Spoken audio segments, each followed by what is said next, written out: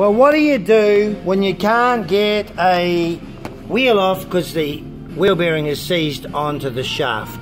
Well, quite simply, I'll show you. I've gotten a little air tool there with a grinding attachment on it. And what I've basically done is I've just taken a little bit out there and then what I'm able to do is actually come in and actually flick out the little bearings and in a minute once they all come out these are them here look at that see here they come look at that once they're all extracted the wheel is going to totally fall off and once the wheel has totally fallen off that means then I can actually just get a cold chisel or a hammer and actually remove the whole uh, inside of that bearing and Bob's your uncle. Now it's Friday.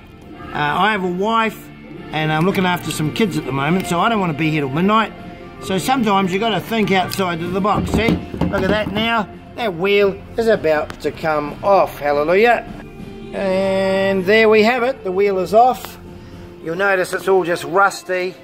And now I can basically just get a grinder or a cold chisel cut through there, knock that off, and uh, if we have to we can do the same on that one there so uh, there you go you got a problem with a boat trailer wheel bearing don't stress. Don't stress. Just get in there. Do your best. Count to 10 have a plan B a plan C. Everything's gonna be okay. Just live a peaceful life. Don't get stressed out. Just chill out. Yeah? Don't stress out. Chill out. Gotta go. Mate of mine's here with some lunch. He's a blessing. See you later